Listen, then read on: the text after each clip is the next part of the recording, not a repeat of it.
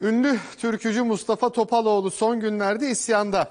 Topaloğlu uzaylı olduğum için 35 yıldır bana iş vermediler.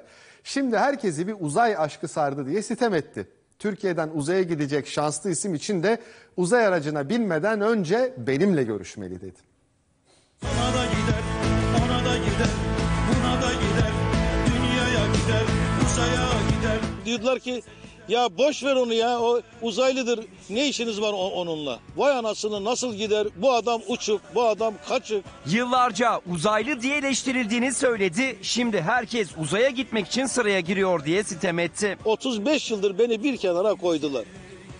Canım kardeşim yani ben 35 yıl sabrettim ya. Ünlü türkücü Mustafa Topaloğlu uzaya olan tutkusuyla biliniyor. Hiç olmasa dedim aletle gidemiyorum gönül yoluyla gideyim. Nereye?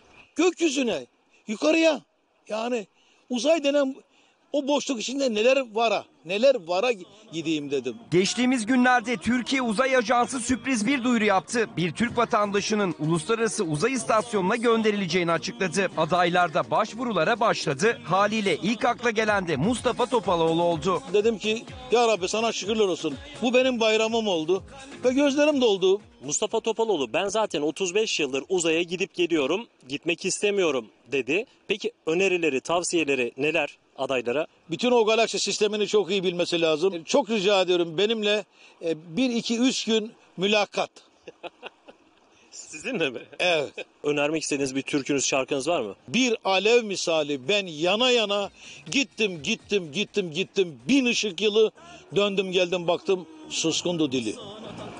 Süper. O zaman veda ediyoruz. Gönlümü sana taktım